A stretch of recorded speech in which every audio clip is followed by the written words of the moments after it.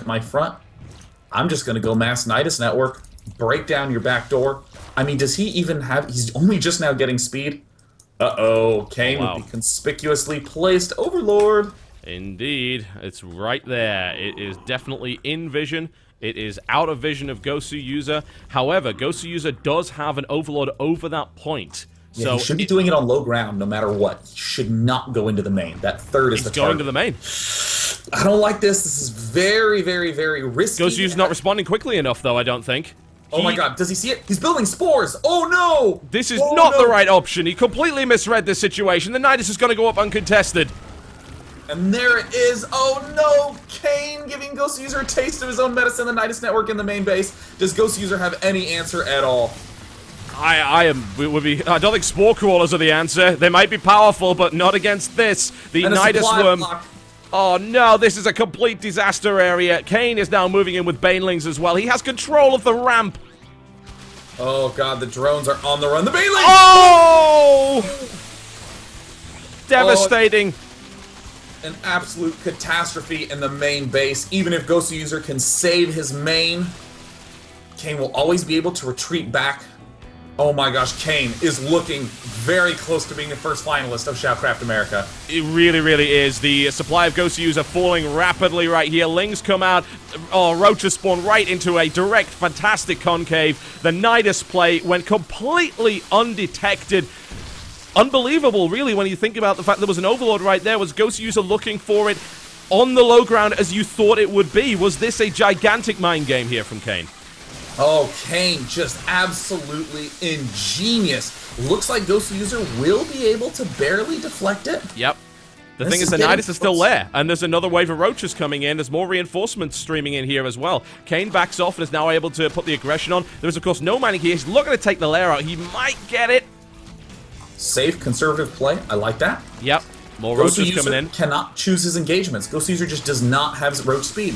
Ooh, lovely concave right there by Kane. That was definitely not where Gosu User wanted to be. The Roach count, of course, plummeting for Gosu User, but he does have that defender's advantage. However, that's almost negated by the fact that the Nidus Worm is there. And looks like Gosu User will be able to hold on to this. So this is definitely not game over as of yet. The Nidus will now be cleaned up. It- Unbelievable. now we have to figure out just how much damage was really done there. You know, it's it's a little ambiguous who is officially in the lead and who is officially behind. You know, I would say Kane's greatest advantage in all that is the 1-1 upgrade starting much earlier than his opponents, and that's about it. Um, he can actually put on some direct frontal pressure with the roaches. He doesn't need to stay defensive now because he has roach speed. His opponent does not. Uh, and actually, I'm, I'm, I'm shocked to see Kane not trying to exploit that right now. That's actually very, very surprising. But Ghost Yeah. User has gotten his third base up so early that he actually had drones to be able to lose. Yes, uh, he lost 24 drones. The units lost shows a massive advantage for Kane. However, you have to bear in mind exactly what you just said there. Will we see another attempted use of the Nidus Worm? Even if, I mean, even if he doesn't use it in the main base, even just putting it towards the front would give him a, would negate Yes. that defender's advantage. Really, really nice. Nidus Worm is coming There down is. here. Yeah, it's going over to the side, and it is slightly out of range. Of course, finding this Nidus Worm is going to be nigh impossible. Gosu User's not going to attempt to find it. Wow, 34 roaches. I mean, Kane followed up this attack with a with a second all in. I don't like the timing of this attack. His uh, his plus one 1-1. plus one. Yeah. Yeah, he's, he's, he didn't wait for it. Gosu User has some roaches. I mean, again, you can just do this push directly at the front. You don't need to spend this gas on the Nidus network. Yeah, I, I guess the only way you could really look at it, but we're going to get a surround here. That speed is not finished for Wow. Gosu User, which allowed a brilliant concave here for Kane, which might very well be what it needs to actually break this. It's so strange that it went in without plus one, plus one, but I guess the reinforcements will have that. The flank comes in from Gosu User with a couple of roaches. It is not enough. Kane is able to take that, and reinforcements coming in here as well. The third base is looking to be broken right now, although his spine is doing an incredible job, having killed six roaches already in this engagement. This was definitely not as good for Kane as it should have been, and the reinforcements coming from Gosu User might so hold this. It's so Plus one, close. plus one is in play. Oh, there it is. The 1 1 is going to be tremendous, especially when those lings pop out. And it looks like Gosu User has yet again done the unthinkable and held it off. You know, I didn't like that timing. I mean, he has Yeah. not had enough roaches to exploit this 1-1 edge. It's better to wait for the 1-1 there. Gosu User, absolutely brilliant choice to get those lings up. He needs some way to abate this pressure, some way to chase these roaches down, and it looks like he will be able to pick off some additional roaches as Kane is trying to Oh. get at a good angle around the Nidus network. Oh my god, is Gosu User actually going to pull this defense off? He is. Uh, Kane's engaging at the worst possible angles he could. He did not take the roaches into the Nidus and bring them in that way. He brought them from the side, which meant they appeared piecemeal. And as a direct result, Gosu User now has a Wow. ridiculous Wow. economic lead. He's held it. Oh my god. Oh my god. What a blunder. I mean, that first attack was so good, but then you can follow up with the roach speed. You can begin droning behind. The reason having an edge on the speed is so potent is that you can drone behind it. Your opponent has to stay defensive with slow roaches because you can always be on the attack with the speed roaches. But Kane didn't do that. He tried to just flood 34 roaches and go for it. But again, as you said, Total Biscuit, defender's advantage. Exactly. It keeps coming in. And if you don't use the Nidus to negate that, if you don't bring your reinforcements via the Nidus and you just bring them in and rally them across the map, that is not good use of a Nidus worm. Mm-hmm. I can't say it any better than that. I mean, the Nidus network is just a transport mechanism. It doesn't do any additional damage. You must have the units to back it up. Gosu User is in all-out panic mode. He is flooding nothing but roaches, and it looks like it looks like this push is going to be big. TV, Yeah. he's going to have 54 roaches. Good lord. Uh, Kane should not fight here on, uh, under any circumstances. He needs to get back home. He will lose roaches as a result of these lings, but he does not want to stop. It's better to lose a couple of roaches on the tail end there than allow that roach force to actually fire and give yourself less time to get into a defensive position. Kane should not be taking this fight at all, and Gosu User is going right in for it. I don't think Kane Oh has a oh choice. He has God. led himself into this.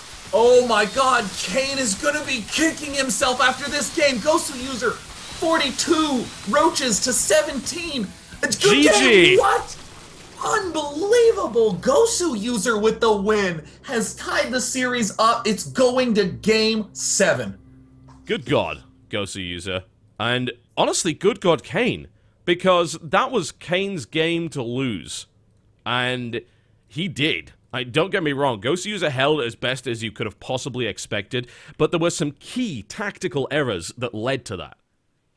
Yeah, I mean, the, the the biggest one is that he had to, he was doing damage in the main base, um, was doing the smart thing, trying to pick away uh, at some of the buildings. Could have maybe shot some additional drones at that expansion, but most significantly, I think that the the um, there was a minor error trying to Nidus the main and not the third, um, and then a more significant one not harassing and droning after the success. And then it all culminated in the blunder of attacking with 1 1 being 70% complete. Just an absolutely brutal loss. Kane, 100%, should be going for his Limuta style. All right, well, let's see if he falls back on his safety. He does have this one more game, and it's his map choice. Gosu user must be feeling good. If he pulls the reverse sweep when he was down 3-0, then we can safely say that this guy is damn good at what he does. So, we will be going into the next game. We're not going to wait around. We're going to go right for it here. Gosu user versus Kane goes to game 7. Belshir Vestige will be the venue for it. Oh, wow. What a Game 7 map. This is considered one of the one of the uh, the map that tests your fundamentals the hardest. I mean, there's the expansions are not super easy to defend. The attack angles, uh, there's there's two notable ones. So there's not really a center. The watchtowers change control quite a bit. Yeah. Very difficult. No question about that. I'm in, I am really interested to see how this goes. I am concerned for Kane's mental state after that game. Like he must have thought he had that one. Like being able to Nidus the main and not have it be responded to for like three minutes. Oh yeah, with the spores going up. Wow. It was a Wow. perfect opportunity. And he didn't he just did not get to play with it. And that sucks. Alright. We're ready to rock and roll. Let's make this happen. Game seven. Here we go. Alright, ladies and gentlemen, welcome to Belshir Vestige. This will be the venue for our final encounter. It is 3-3 between this guy right here, who started so well, who showed prowess, who made no mistakes in the first three games, and yet suddenly, what a role reversal. It is. Root Kane versus his opponent, the hardened tournament veteran, the guy whose state of mind and experience may very well win him the day in the blue trunks. It is Millennium Gosu user.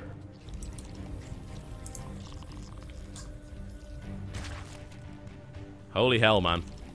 Didn't expect it to go this far. I mean, we were at a, a situation where we thought a 4-0 sweep was very likely. Yeah, I mean, and and honestly, I I was I was just gonna be I don't know, I'm like shocked. Ten, okay, listen, Kane's, I'm uh, freaking blown Gosu away. user is 10 pulling right now. An excellent decision, Gosu user, an absolutely excellent, excellent decision. He started to get a feel for his opponent in the midst of all these matches, and there's the gas going down. Is he going to Oh. go for the second extractor trick? I don't think he should. I think he should go for 10 pool speed. This- it's much more effective yeah. on this map. Oh, second one coming in. Are we going to get the cancellation here? It is. I'm right. not a fan of this. This is this is a little dicey. The overlords. This first overlord will be able to see the zerglings coming. So Kane will know how to set up the appropriate defense. It is not mm-hmm. as close as Neoplanet S. Yep. Zergling speed, fast Zergling speed makes a lot of sense on this map. Look at how wide open the natural expansion is. The watchtower is very important to control. And there's Gosu use. Oh, Kane. Oh, Kane I- actually sees the drone. Yeah, I, he actually he held up for a second there, thinking, "Why is there a drone Oh. scout this early?" Oh But he went hatchery anyway. Oh yeah, there's drones behind this. Gosu user going drones. What? Now he should he should be getting a queen right now and no zerglings. That what What is? what? I don't know what he's doing right now. He's faking. I mean, but that doesn't make any sense. Like even faking a ten pool, this spine is not going to go up. I mean, obviously it wastes a little bit of mining time, but this is really strange. Now ten pool into queen expand queen is Okay. is is a reasonable build. All right. uh, that is quite strong.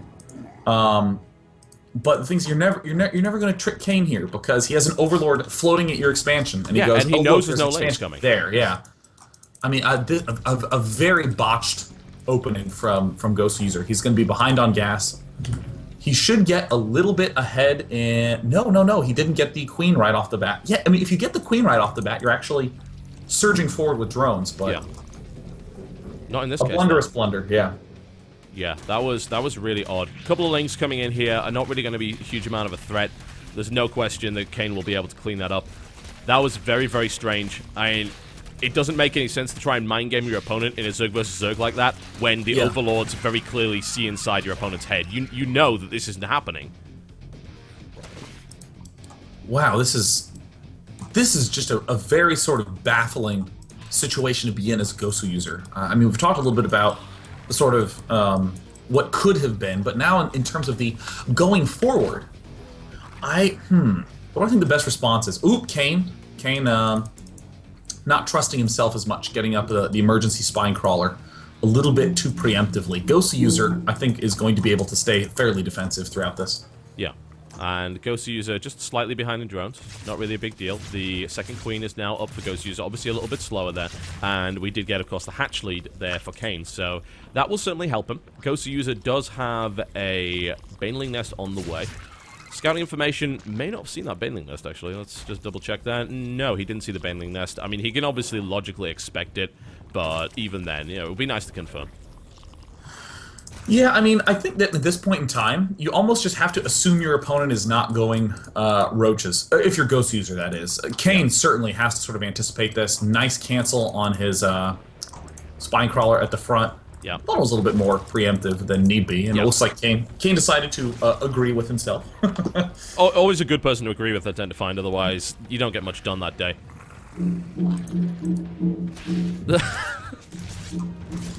Sorry, my mic cut out. Sorry, I I lulled. But uh, as you can hear, my neighbor has decided to start banging on drums, so all of a sudden it's going to get really loud. Oh, this tournament. This tournament. We're seeing a large ling surge right here from Kane. Defensive Banelings coming into place right here from Gosu User. Gosu User also put himself in a supply block situation for a little bit too long, whereas Kane was well ahead of him and is now being able to get that surge, and that could make a difference here. I All right, this let's see how it goes. Quite significant, yeah. I mean, the, with, with the Roach Warren coming up from Gosu User, he, he's feeling the need to be defensive, but behind this, Crap, Kane is just going to be throwing down uh, a, lair. I mean, this looks like an all-in from Kane, but it is an opportunity to drone behind. This is to exploit a player who's been low on larva. He knows the hatch was delayed, and because the queen was delayed, there's almost no chance that there's going to be enough larva there. Oh, oh, my God! He ate one oh! hit. Oh, second hit goes off. A lot of the banelings don't get there. User! Ah, one more hit. He hits the drones. That was not as good as it could have been, but he does destroy the natural pretty effectively. Oh, I mean, a brilliant response from uh, Kane. Kane acknowledging, wow, you're low on uh, larva. There's no way you can get both drones and lings up to be able to hold this off, so I'm going to use my larva advantage to overrun your front. And it looks like Kane has decided, I've won this game. He's going Spine Crawler. He's going Roach Warren. He is just going to play it off conservatively. He is not going to go for lair. He was a little bit too bold in the previous games. He is going to the exact opposite end of the spectrum. Yeah. Kane is in a great spot right now. He has a very clear drone lead over his opponent. His tech is looking good as well. Gosu User is not happy after that one. Very Um, unhappy indeed. More lings coming in. We'll actually get the surround on the roaches here as well, which is a horrible situation to be in. Gosu User definitely not happy with himself. He may very well decide to give up at this stage. Oh, He's now lost all of the roaches as they get surrounded. And he's GGing. Oh, a Ah, so tragic. end for Gosu user who pulled the miracle comeback to tie it up. Oh, it's such it's such a heartbreaking end because I mean his drone went the wrong way and then he decided, well maybe I should drone behind this 10 pool. Maybe I should Oh, no, let me try to fake it. I mean, uh, just you could see the meltdown happen right there. That was. I feel so bad for Ghost of User after that. I really do. Don't get me wrong. Kane played a great series, even though he kind of fell apart in the middle of it. Gosu User pulled, pulled such a comeback, an incredible comeback. That was that was heartbreaking. It was, and you could tell just even in his play. You know, you could tell that he was losing heart. He, oh man. Well, such is the way of tournaments. Someone must lose, someone must win, otherwise we wouldn't have much of a competition. And Kane gets a chance to prove himself in New York for the grand finals. Wow, that is that is a real treat to see Kane there. I mean, Kane was talking a little bit about how he got fortunate in his game against QXC. He got fortunate in his last game here against Gosu User, but that that that phrase only goes so far. Kane is there because he has been able to take down top player after top player of all races in incredibly difficult situations by thinking really flexibly. Yeah, he really, really did. He put on an exceptional performance. Gosu User, he's the kind of player that's going to beat himself up over this hard because he has more often than not said, you know, expressed the idea that he is really top shape in terms of the American scene. Like, and most people would agree with him on that one. They would say, yeah, you are one of the best American Zerg, if not arguably the best, at least in America. As you know, if you don't count the Canadians, then yeah, that there would be plenty people that would accept that assertion. And unfortunately, he has been taken out by a relative newcomer, and he got so close. So close. Wow. I mean, Gosu user, uh, uh, ah, God, oh, my heart bleeds for him so much. I mean, It does. I know, I, I feel like even all the Kane fans out there, their heart bleeds for Gosu user in that final match. Gosu user showed sensational game four, brilliant build in game five, an unbelievable defense in game six, and just tripped up in game seven. Yeah. Uh, that was so strange as well because that 10 pool would have actually worked. There were like two, maybe even three different ways that he could have turned that 10 pool into something that would have genuinely put him ahead. And then he picked the one way that just didn't. It made no sense. I mean, that was not a build, that was a mistake. And Gosu User knows it. He says to the audience he's so stupid. And, you know, I, I don't agree that he's stupid at all. It's the kind of thing that everybody makes mistakes. Especially Yeah. in a knife edge match. It comes down to the very last map. You know your opponent's been picking maps left, right, and center. You know your opponent's strong on this map. He makes. He just doesn't quite have it. I mean, Doesn't quite have it, just like my neighbor doesn't quite have a sense of rhythm. No, or, or a sense of pitch. I mean, I've never heard a drum be out of tune before, but he has succeeded. I know that is that is a very very harsh sounding drum. What a discordant, dissonant drum. Ugh, gross. Like that Total drum, biscuit. that drum should be a war crime, Sean. Well, apparently it's actually a war chant because we have a PvP coming up. Did you We see do. that segue? It happened live. Nah, that wasn't even planned or anything. You, some That people was on believe that. spot.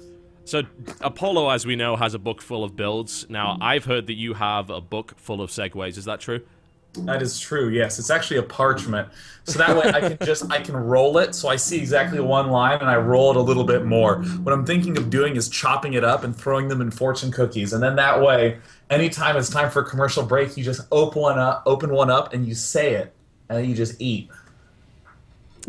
What a great idea. Well, Kane is your first finalist. You know, I, I felt obviously that we did very much focus on the idea that you know Gosu user kind of losing that last game, but we, we shouldn't really ignore the fact that Kane did play some exceptional exceptional games, got a great engagement, had some great decision making. We, the middle of the series got a bit funky for him, but that last game, you accurately pointed out that he identified that his opponent had less larva potential, and we even saw, as the observers, the supply block come into effect for Gosu User, and that was an exceptional performance from Kane.